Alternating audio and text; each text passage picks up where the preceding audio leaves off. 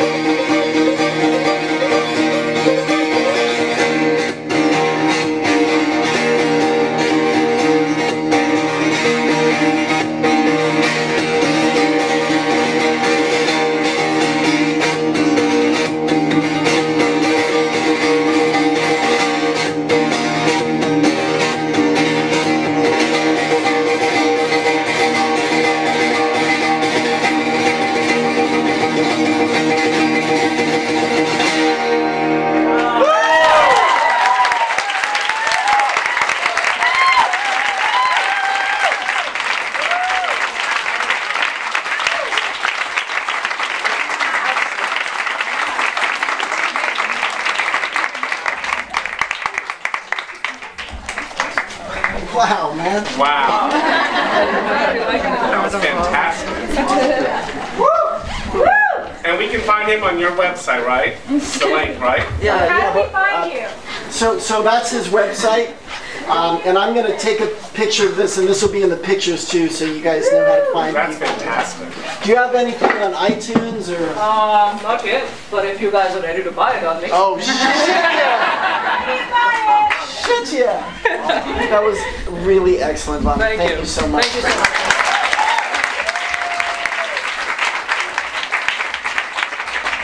Um, you know, a couple things, um, uh, Vami, reading your bio, I actually was turned on by um, Viv. Um, that I watched that YouTube video you shared. Um, so in Paraguay, there is a group that has come together to, um, you know, it's interesting they didn't mention El Sistema, you know, El Sistema in Venezuela, because they're doing similar things. But anyway, to teach kids from um, uh, small villages, impoverished backgrounds, teach them music. But what's, what, what's, and that's super cool.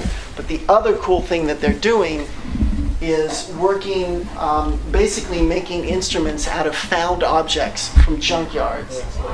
And I posted this last night on, on my uh, Facebook page, which, by the way, I think this Facebook thing's gonna be huge, so you should friend me, and then you can you can check this out. But i i- it's unbelievable the sound that, that, that these guys are playing from these drum, I mean, from uh, you know tin cans that that they fashion into um, basses and, and violins. Um, so I I, uh, um, I was uh, reminded of that, and also um, Ravi Shankar passed uh, uh, yesterday. So. Um, kind of a bummer, and Dave Brubeck earlier this week. So it's been a bad week for some great musicians.